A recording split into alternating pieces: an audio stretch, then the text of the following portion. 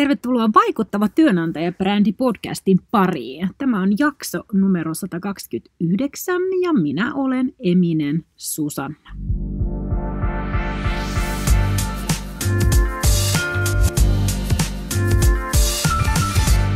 Sosiaalinen media kuuluu kyllä keskeisesti jokaisen modernin HR-markkinoiden mediapalettiin ja arkeen.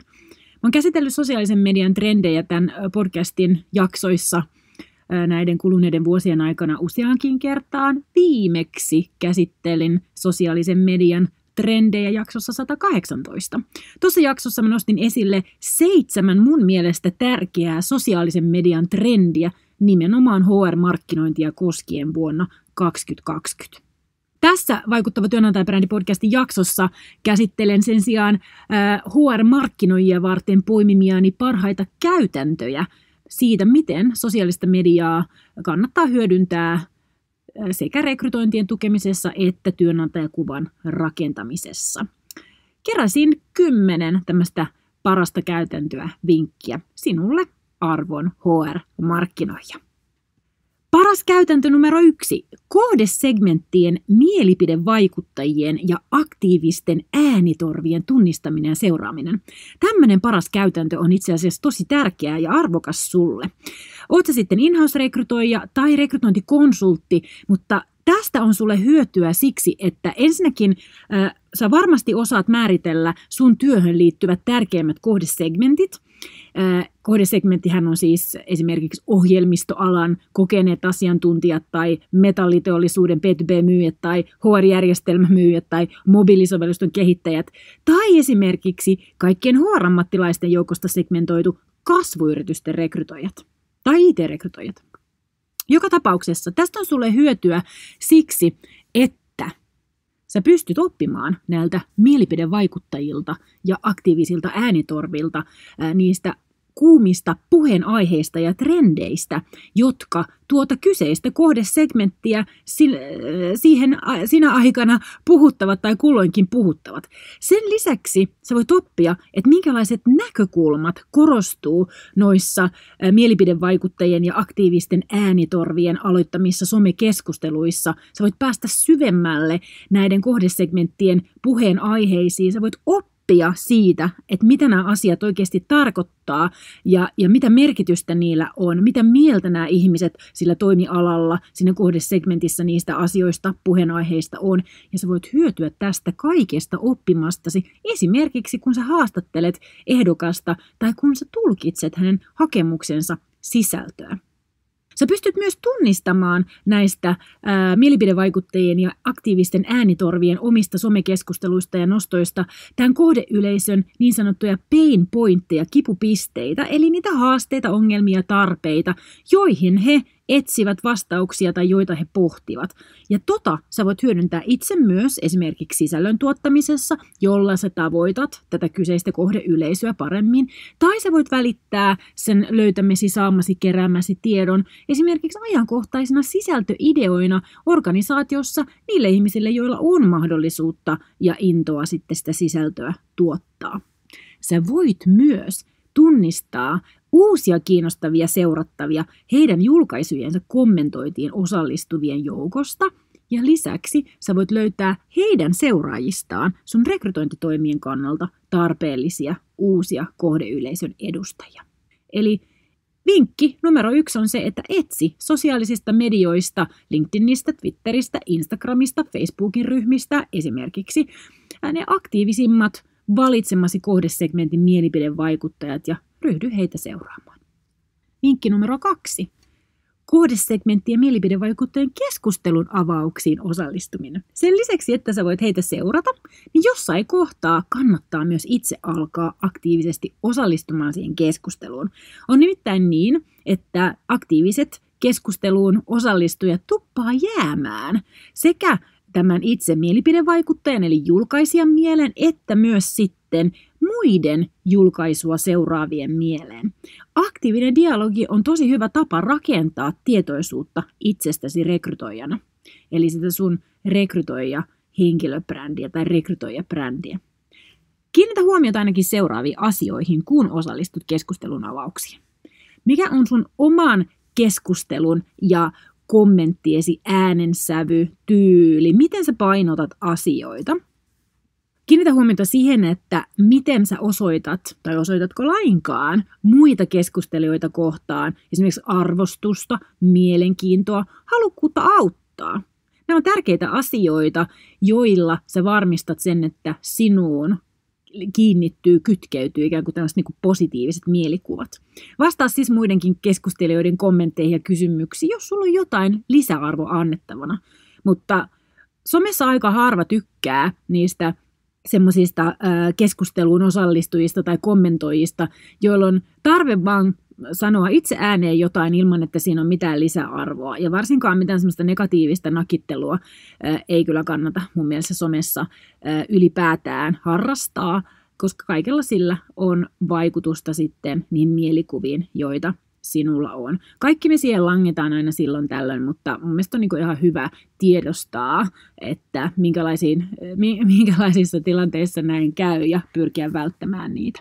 Ja sitten hei, semmoinen vinkki, kun osallistut niihin keskusteluihin, niin tarkista, että sun oman äh, profiilisi kuvaus, esimerkiksi LinkedInissä, jos osallistut näihin keskusteluihin, niin siinä, mikä sun profiilissa on se sun pääasiallinen niin kuin, äh, nimen alla oleva titteli tai kuvaus tai mitä olet siihen kirjoittanutkin, niin tarkista, että se kiteyttää olennaisesti, kuka sä oot, mitä sä teet, ketä sä esimerkiksi rekrytoit ja minne tai millä toimialalla.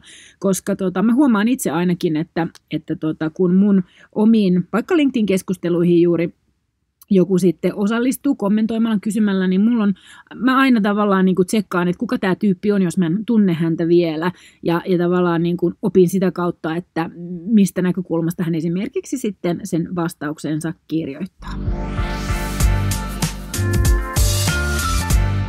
Sitten vinkki numero kolme. Kohdesegmenttien aktiivisesti käyttämien sosiaalisten medioiden tunnistaminen. Tämä kolmas hyvä, kolmas paras käytäntö on hyvä syy aktivoitua etsimään ja seuraamaan niitä tärkeiden kohdesegmenttien mielipidevaikuttajia, koska sitä kautta sä voit saada myös konkreettista tietoa siitä, että missä medioissa nämä kohdesegmenttien edustajat oikeastaan viettää sitä aikaa ja millä asioilla. On kauhean yleistä, että me tehdään itse päätelmiä ja oletuksia esimerkiksi meidän tavoittelemien kohdeyleisöjen sosiaalisen median käyttötavoista ja prefereisseistä, vaikka me itse edustettaisiin sitä kohdesegmenttiä lainkaan. Se tyypillisiä oletuksia, joita mä huomaan, on se, että, että tota, hirveän usein ylistetään, että tämä ja tämä kohdesegmentti ei kyllä käytä Instagramia tai ei kyllä käytä Facebookia tai ei kyllä katso videoita tai ei kyllä ole siellä tai ei heitä tavoita tällaisilla viesteillä. Tai kyllä ilmoitus kannattaa julkaista täällä ja täällä, koska kaikki muutkin ilmoittaa siellä. Tämä on hyvä tapa. Nämä on, on sellaisia meidän oletuksia ja nehän voi totta kai olla totta, mutta jos me ei olla varmoja, niin näitä mielipidevaikuttajia seuraamalla ja, ja katsomalla, että missä he oikeasti on aktiivisia, niin voidaan myöskin sitten tavallaan niin kuin saada vähän enemmän sitä, sitä faktaa sinne meidän omien oletusten pohjalle. Paras käytäntö numero neljä. Ota selvää optimaalisista julkaisuajoista ja joko julkaise niiden mukaan tai ajasta sun julkaisut sitten niiden mukaan. On tietysti ihan loogista päätellä, että samalla aikavyöhykkeellä samantyyppisissä ammateissa olevat ihmiset istuu samaan aikaan työmatkan liikenteessä tai käy lounaalla suurin piirtein samaan aikaan tai juone iltapäiväkahvit suurin piirtein samaan aikaan, mutta omien somekanavien analytiikka kertoo kyllä milloin tarkalleen ottaen näyttää olevan ne juuri sun seuraajien aktiivisimmat kyseisen sosiaalisen median käyttöajat.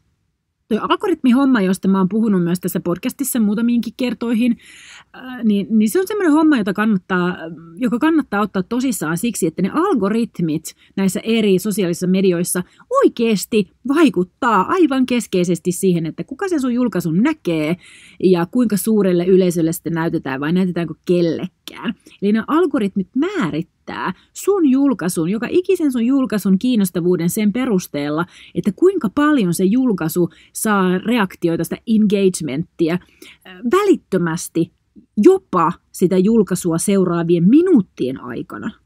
Jos sä äh, julkaiset aamuisin kello kuusi ja sun yleisö tulee samaan sosiaalisen mediaan vasta kello yhdeksän, niin algoritmi on tuominut sen sun julkaisusi tuhoon aikaa sitten. Jos olet aktiivinen sisältöjen julkaisija, ja sulla on esimerkiksi bufferi tai Hootsuite tai HubSpot tai mikä tahansa tämmöinen niin sosiaalisen median hallintatyökalu käytössä, vaikka ihan ilmaisversiona, niin niissä voi julkaisut helposti ajastaa just oikeisiin aikoihin, eli sun ei tarvitse välttämättä itse olla paikalla sitä julkaisua tekemässä juuri silloin, kun sun kannattaa julkaista. Älä arvioi oikea-aikaisen julkaisemisen merkitystä siinä sun viestisi vaikuttavuudessa. Paras käytäntö numero viisi. Valitse yksi sosiaalinen media, johon keskityt. Sosiaalisten medioiden managerointi ja se säännöllinen sisällön tuotanto, niin se on tosi aikaa vievää. Onneksi tänä päivänä ei tarvitse olla joka päivä julkaisemassa uusia blogitekstejä tai uusia videoita tai uusia podcastejakään, mm, mutta se systematiikka ja se säännöllisyys on oikeasti todella olennaista siinä vaikuttavuudessa ja sen takia kannattaa valita Eli kannattaa valita yksi sosiaalinen media, johon keskittyy ja johon sitten satsaa sen säännöllisyyden suhteen. Se ei tarkoita sitä, etteikö saisi tai voisi olla muissakin sosiaalisissa medioissa läsnä, mutta veikkaan, että kaikkea, kaikkiin ei pysty käyttämään aikaa riittävästi, jotta sillä on jotain merkitystä ja vaikuttavuutta, niin sen takia kannattaa valita yksi sosiaalinen media.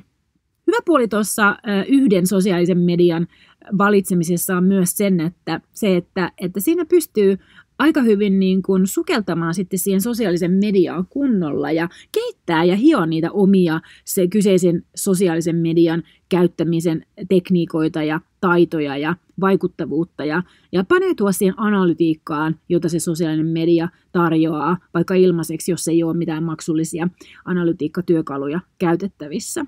Ja se on kyllä tosi palkitsevaa, kun huomaa sen oman työn tuloksen ja sen vaikuttavuuden, että se oikeasti alkaa toimimaan se, se läsnäolo ja, ja, ja satsaaminen siinä yhdessä sosiaalisessa mediassa.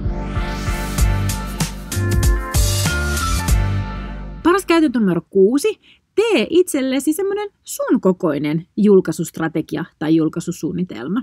Vähän tuohon edelliseen liittyen, niin semmoisen sattumanvaraisen ad hocin sijaan niin on kyllä miellyttävästi merkittävämpää toteuttaa tämmöistä valmiiksi suunniteltua julkaisustrategiaa ja julkaisusuunnitelmaa jossain yhdessä sosiaalisessa mediassa, koska kun siinä on se punainen lanka ja se konsistentti, niin sitä nopeammin alkaa sitten ne, ne, ne niin kuin vaikuttavuuden elementitkin sieltä nousta esiin, eli, eli sitten se sun työ alkaa tuottaa jotain tulosta, mitä, oot sitten, mitä kohti ootkin sitten pyrkinyt.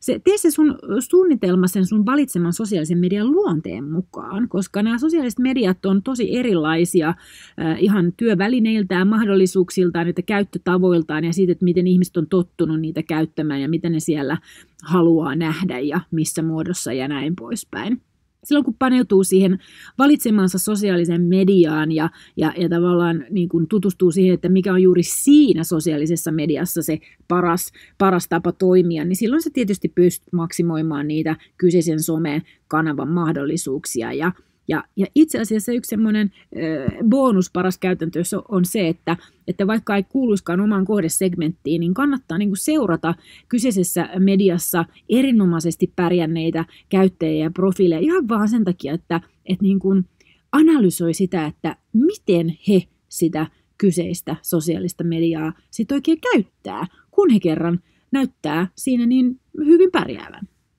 Paras käytäntö numero seitsemän. Tämä ei ole mikään uusi, tämä on ajankottanut vuosia jo, mutta tämä on edelleen erittäin ajankohtainen ja, ja tota, monelle kyllä myös tarpeellinen paras käytäntö ja vinkki. Eli anna, anna, anna, anna ja sitten vasta pyydä, mutta muista kuitenkin pyytää.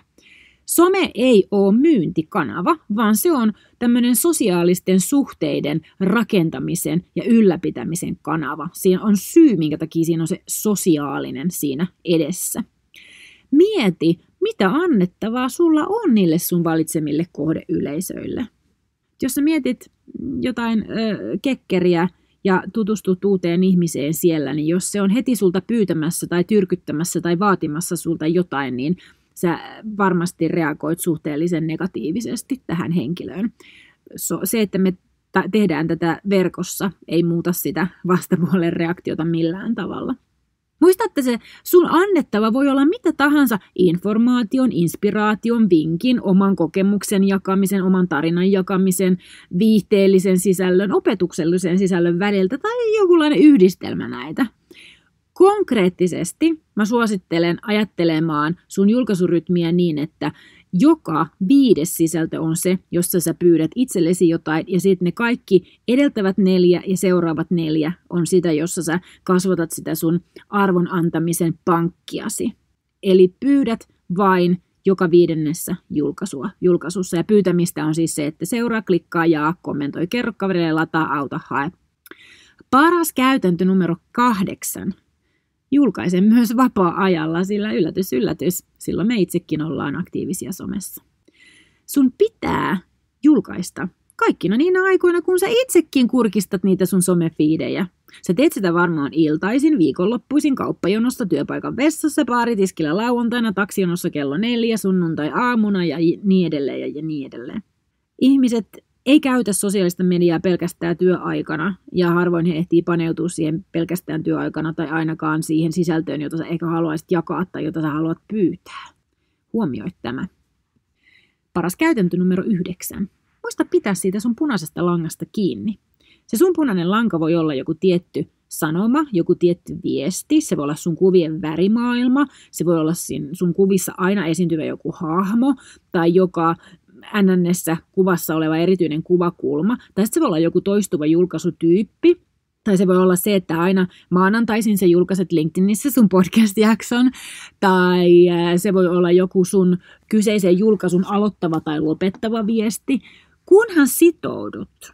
Sillä vain toisto siihen, ja, ja sitoutuminen siihen punaiseen lankaan, niin vain ne tarttuvat mieleen ja jäävät voimaan ja alkavat herättää sitä uteliaisuutta siinä vastapuolessa ja, ja tällä tavalla todennäköisemmin sitten se meidän punainen lanka alkaa vyörimään eteenpäin lumipallon lailla. Sitten paras käytäntö numero 10. Julkaisetko monessa paikassa samaa sisältöä?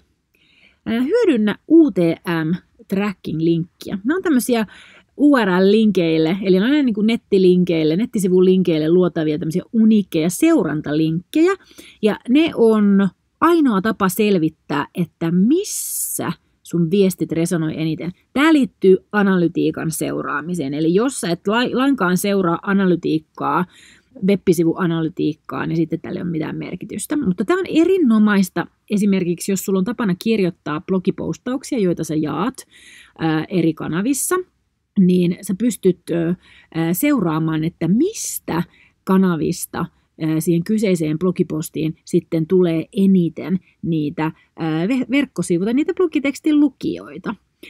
Meillä esimerkiksi seurataan säännöllisesti, että mistä medioista ylipäätään saavutaan eniten esimerkiksi tota, vaikka Eminen podcastin sivuille ja kenen meistä tiimiläisistä yleisöt aktivoi eniten liikennettä sinne meidän web-sivuille – ja mä oon esimerkiksi selvittänyt tämmöisen UTM-tracking trackingin kautta sen, että LinkedIn-ryhmät ei ole suinkaan kuolleita.